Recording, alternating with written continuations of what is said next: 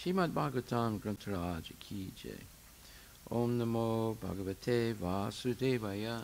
Om Namo Bhagavate Vasudevaya. Janmadhyasya Yato Nivayad Itaratas Charte Suvigya जन्माद्यस्यतां वयरितरतश्चाते स्वाभिज्ञास्वारम् तेने Brahma हृदया अधिकवये भूयन्ति यत्सूरयः।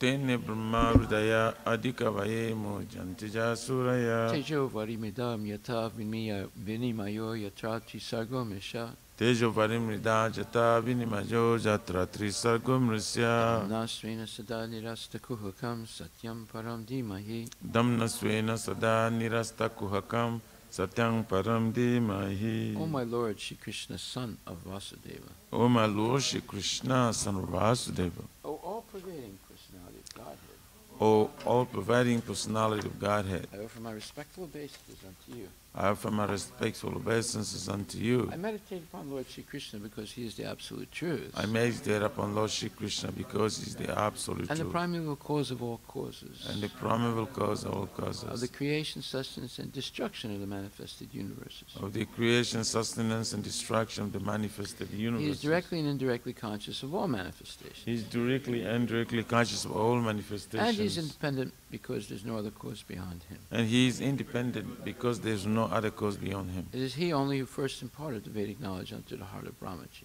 It is he only who first imparted the Vedic knowledge unto the heart of Brahmaji, The original living being. the original living being. By him, even the great sages and demigods are placed into illusion. By him, even the great sages and demigods are placed into illusion, As one is bewildered by the illusory representations as one is bewildered by the illusory representations of water seen in fire or land seen on water. of water, sand, of fire, of land, sea, and water. Only because of him do the material universes, Only because of him do the material universes temporarily manifested by the reactions of the three modes of nature, temporarily manifest with the action of three modes of nature, appear factual although they are unreal. appear factual, although they are unreal. I therefore meditate upon him, Lord Sri Krishna, I therefore meditate upon him, Lord Shri Krishna, who is eternally existent in the transcendental abode, who is eternal existent and the transcendental abode, which is forever free from the illusory representations of the material world. which is forever free from the illusory representation of the material world. I meditate upon him, for he is the absolute truth. I meditate upon him, for he is the absolute truth. Dharma projita kaitruvotra, Dharma Prujita Kaitavutra, paramo nirmatsaranam satam, Paramo Nirmasaranam Satam, vedyam vastavam atra vastu, Vedyam Vastavam Astra Vastu, shivadam tapa trayon mulanam. Shivadam tapu trayo mulanam. Shrimad Bhagavate Mahamani Krite. Shrimad Bhagavate Mahamani Krite. Kim va parir Ishvaraha. Kim va parir Ishvaraha. Sadyo hridi avarudhyate tra. Sadyo hridi avarudhyate tra. Kriti bihi sususabistakshanat. Kriti bihi sususabistakshanat. Completely rejecting all religious activities which are materially motivated. completely rejecting all religious activities which are materially motivated. This Bhagavata Purana propounds the highest truth, This Bhagavad Purana propounds the highest truth, which is understandable by those devotees who are fully pure in heart. Which is understandable by those devotees who are fully pure in heart. The highest truth is reality distinguished from illusion for the welfare of all. The high truth eh, is the for the welfare of all. Such truth uproots the threefold miseries. Such a truth uprooted the four miseries.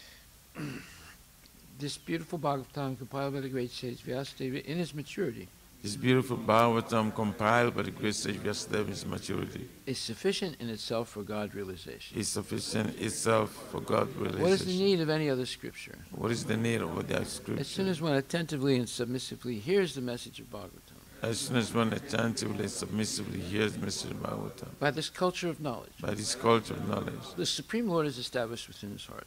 The Supreme Lord is established within his heart. Nigama kalpataror galitam phalam, Nigama kalpataror galitam phalam. gumakad amrita dravya samyatam, Sukhamakadam ritadva sangitam. pibata bhagavatam rasam alayam, Vivata bhagavatam rasam. alayam. muhur ahoraska bhuvibhavukaha.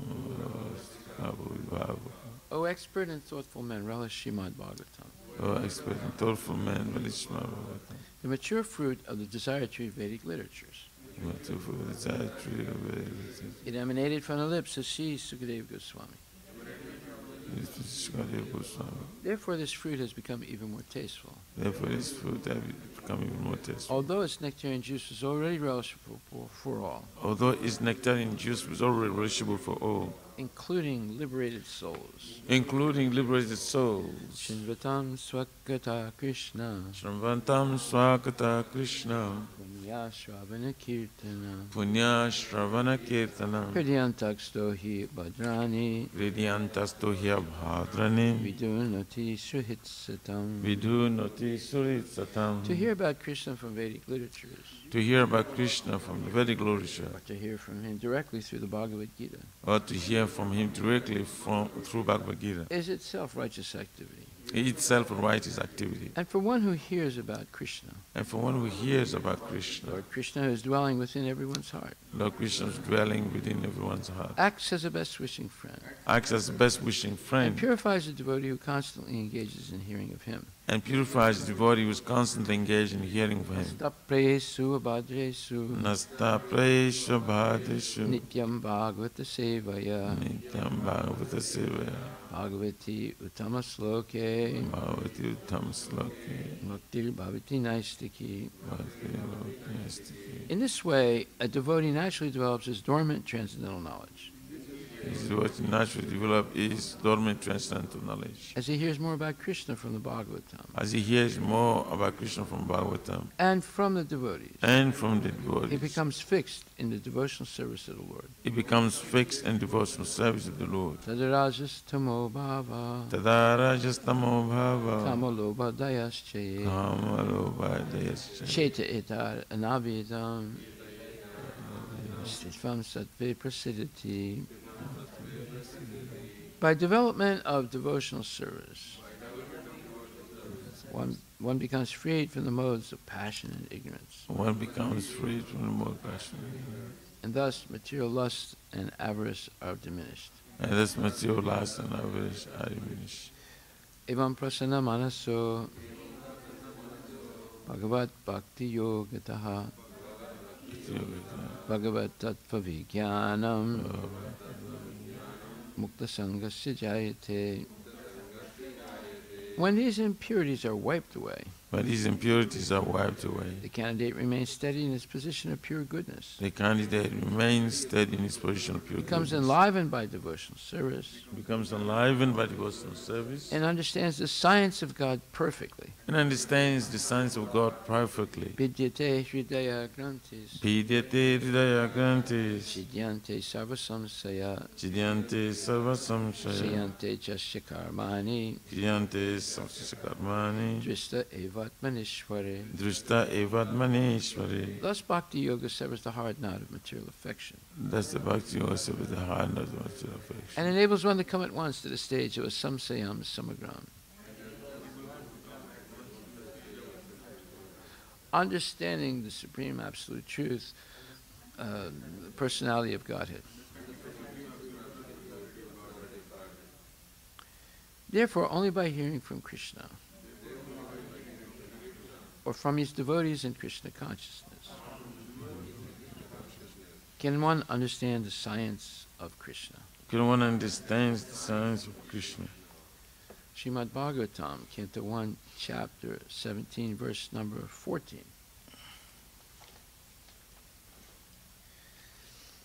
Jnani nagasyagam yunjan Jane nagasagam yunjan, sarvatosya chamad bhayam sarvatusya chamad bhayam, sadhunam bhadrameva syad sadhunam bhadramiva syat. sadhu damane krite. Asadu damane krite. Translation by Srila Prabhupada. Whoever causes offenseless living beings to suffer must fear me anywhere and everywhere in the world. By curbing dishonest miscreants, one automatically benefits the offenseless. Purport by Srila Prabhupada. Dishonest miscreants flourish because of cowardly and impotent executive heads of state but when the executive heads are strong enough to curb all sorts of dishonest miscreants, in any part of the state. Certainly they cannot flourish.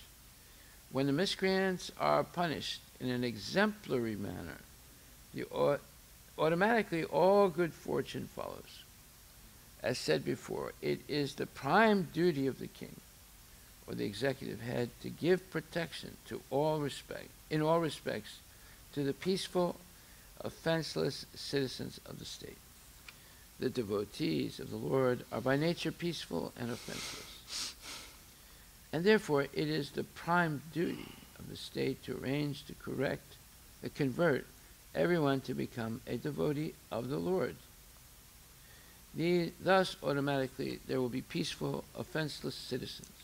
Then the only duty of the king will be to curb the dishonest miscreants. That will bring about peace and harmony all over human society. Srila Prabhupada. So we see here that Prabhupada is advocating very proactive, very strong, very determined leaders of society. Not only the king, but the, the people that cooperate with this king have to believe in this type of strict adherence to certain eternal principles. So, therefore, uh, severely or no, uh, punishing miscreants in an exemplary way is important. So we see if you go in a country that practices Sharia law, like Saudi Arabia, if someone is caught stealing three times, they cut his hands off. if they continue after that, they probably cut his legs off also. But uh, they don't. They don't play games. Don't, it's not just one time. It's, it's three times. And uh, so that sort of makes sense because it'll be a lot harder to steal if you don't have any hands. Uh, however, if uh, two people engage in illicit activities, they always blame the woman. And they severely punish the woman. Sometimes they kill her. That, does, that seems to be much, much overstated. Why do we say that? Because in the first chapter of Bhagavad Gita, uh, Arjuna, what does he say? He says,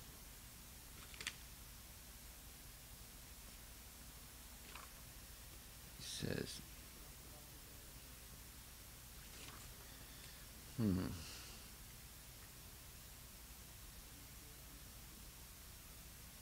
When irreligion is prominent in the family, O Krishna, the women of the family become polluted, and from the degradation of womanhood, O descendant of Rishi, Rishni, come unwanted progeny. In the purport, Prabhupada says, Good population in human society is the basic principle for peace, prosperity, and spiritual progress in life. The Varnashrama religion's principles are so designed that the good population would prevail in society for the general spiritual progress of state and community. Such population depends on the chastity and faithfulness of its womanhood. As children are very prone to be misled, women are similarly very prone to degradation. Therefore, both children and women require protection by the elder members of the family. By being engaged in various religious practices, women will not be misled into adultery. According to Chanakya Pandit, women are generally not very intelligent and therefore not trustworthy.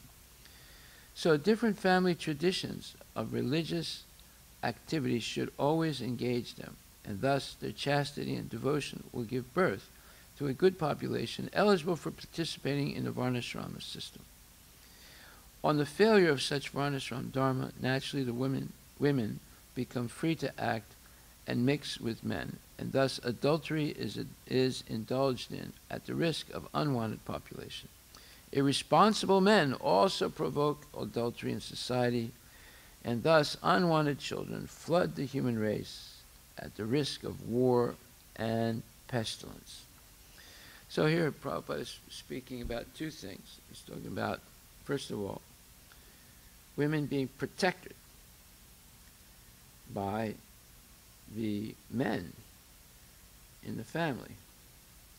That, that includes grandfather, father, husband, and so forth.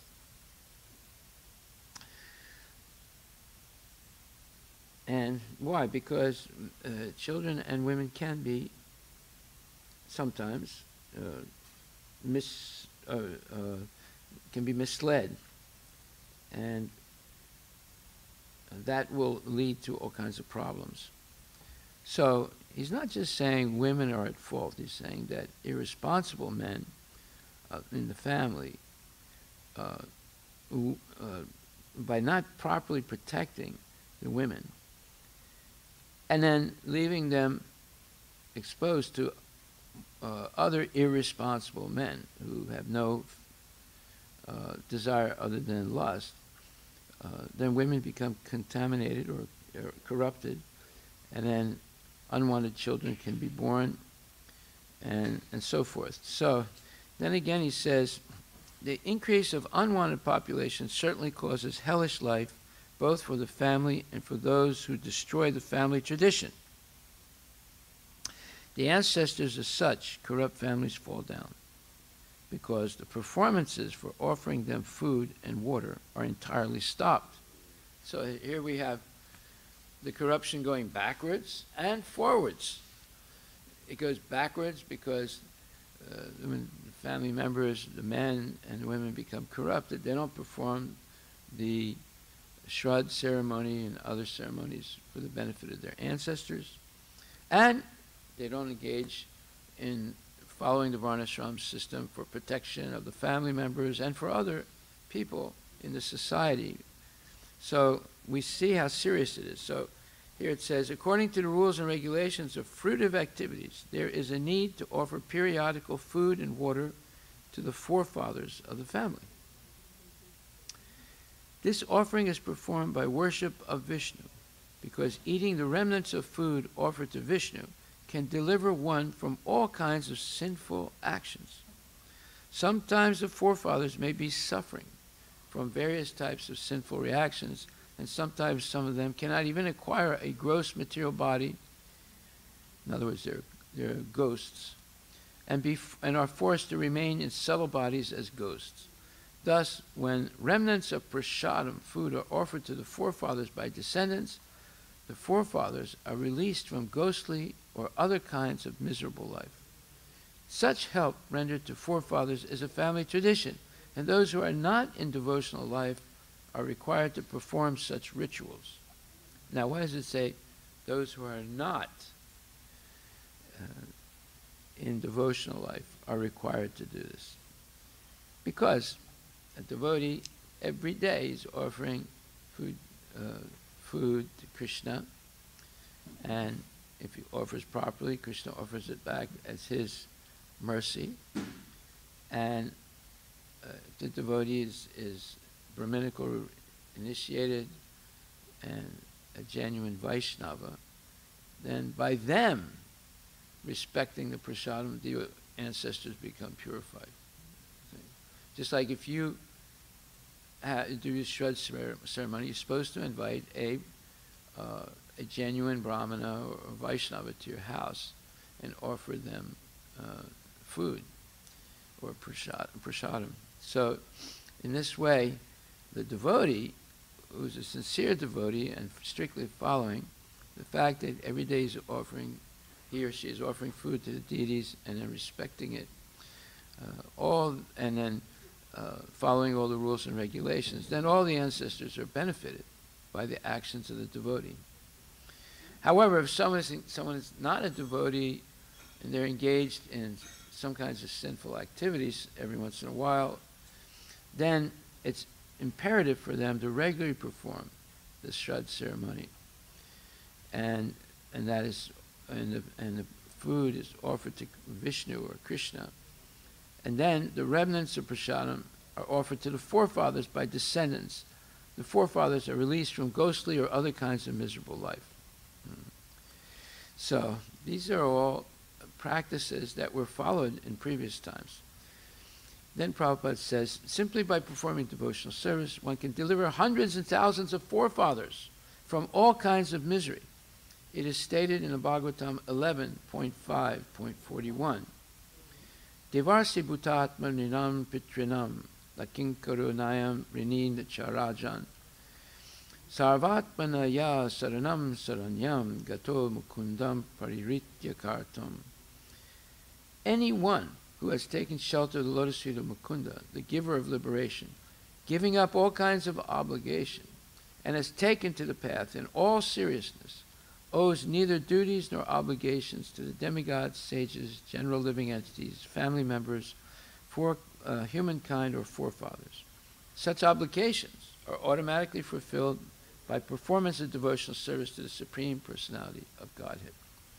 So, Genuine devotees don't have to do this. But people who are still engaged, as Prabhupada says, sometimes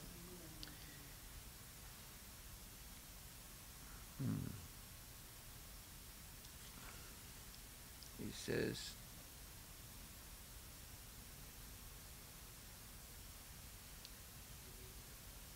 such help, meaning offering prasadam, uh, to offer to Vishnu first, to the, to the forefathers, such help in devotional service. Uh, no, he says, such help rendered to forefathers is a family tradition, and those who are not in devotional service are required to perform such rituals. One who is engaged in the devotional, devotional life is not required to perform such actions. Simply by performing devotional service, one can deliver hundreds and thousands of forefathers from all kinds of misery. So this is, this is important information for us. We should never uh, in any way discourage others from performing these, ser uh, these services, these uh, rituals, because uh, it's necessary. They cannot help their, their ancestors because in any other way because they're engaged still in some kinds of sinful activities. But for devotees, it's not necessary because they're strictly following the pr principles of Krishna consciousness. Okay.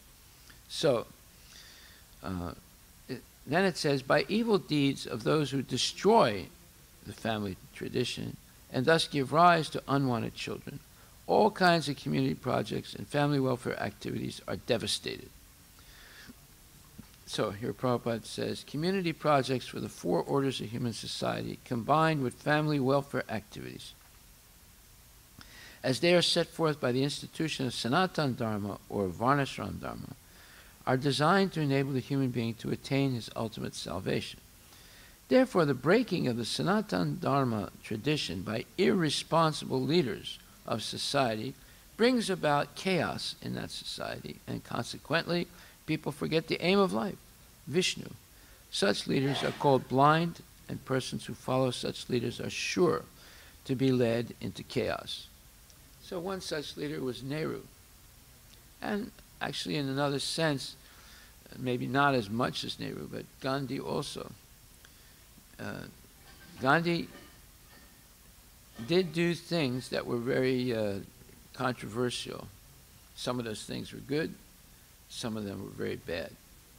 One of the bad things that he did uh, was he said that, uh, well, sometimes he would sleep with uh, a woman, even though it might have been his niece. Uh, and uh, he would do this to prove that he was not agitated for sense gratification. But, and then other times he would have his arm around women, even though they were maybe his own relatives. Uh, so, but he was dressed like a sadhu. But sadhus are not allowed to do things like that. You see, so he gave a bad example in that way. And uh, uh, so, the the British correctly identified Gandhi. They said, amongst religionists, he's a politician and amongst politicians, he's a religionist. So, in other words, he's a sadhu amongst the politicians, and he's like an ordinary guy amongst the sadhus because he did not, although he dressed like a sadhu, he did not follow all the rules. And, and that eventually leads to degradation uh, uh, and dis- destroying the family tradition and, and so forth. Okay. Uh, and then Prabhupada, and then Krishna says, "Oh Krishna, oh no, Arjuna says, "Oh Krishna, maintainer of the people, I have heard by disciplic succession that those who destroy family traditions dwell always in health. And Prabhupada writes, Arjuna bases his argument not on his own personal experience, but on what he has heard from the authorities. That is the way of receiving real knowledge. One cannot reach the real point of factual knowledge without being helped by the right person who is always established in that knowledge. There is a system in the Varnashram institution by which, before death, one has to undergo the process of atonement for his sinful activities. One who is always engaged in sinful activities must utilize the process of atonement called prayaschita. Without doing so, one surely will be transferred to hellish planets to undergo miserable lives as a result of sinful activities. So this is to help those people who are what you would say in English recalcitrant. In other words, they uh, adamantly or or uh, uh, let's say fanatically refuse to follow all the rules, although they follow some rules, but they refuse to follow all the rules. So such people are committing sins, but they're given a chance to uh, reduce the load of those sins by the process of prayaschita. Now, if you read the sixth canto, the beginning of the sixth canto, uh, Maharaj, uh, uh, Maharaj Parikshit rejected the uh, process of prayaschita. He said, what good is it? I mean, they, they okay, it diminishes their load of sins, but it doesn't stop their desire to sin. So therefore, he wanted to hear something better than simply prayaschita. And what is better? He should become a devotee full time, following all the rules and regulations. Then you're not committing, then the desire for sin also goes away if you chant sincerely. But prayaschita just permits people, and prayaschita is practiced in Christianity, in Islam, in Buddhism, and Hinduism. It's not just Hinduism. Uh, the, the, Christians have the same thing, the Muslims have the same thing, the Buddhists have the same thing, where they'll perform these rituals to reduce the load of sinful activities. But it doesn't stop a person from desiring to sin and sinning again. So the, the Catholic Church has the, the uh, uh, ceremony where you go in front of a priest in a in a small box like uh, setting, and the priest is on one side. You can't see the priest, but he's there. He can hear you, and he can't see you. And you have to make your confessions of sins that you committed. So the person says, Father, I have sinned. And the priest said, Yes, my dear son my dear daughter, how have you sinned? And then they go into a whole discu- discussion of all the sins they committed the previous week or the previous month or the previous life or previous years. And then he said, Well, you have to chant Hail Mary, Son of God, uh, Mother of God, uh, 10,000 times. That's if they've sinned really bad. If it's not so bad, he said, Well, you have to say it 100 times or 1,000 times, right? And then the person thanks the priest, and then they walk out and they see each other, and, and then the person gives a donation, they leave. If that doesn't purify the desire to sin, so the next week the person can be back again. Oh, Father, I have sinned. Yes, my dear child, please tell me what you have done. and they tell him again. And then uh, he, says, he says, well, you have to, this time you have to say Hail Mary, which is a prayer. Uh, just like we pray to Radharani, they pray to Mother Mary right, for forgiveness. So this is not a good system, but it's better than nothing and it gives people a chance to purify themselves a little bit from their uh, from the reactions. Okay, so This is one point in this uh, purport. So Are there any questions?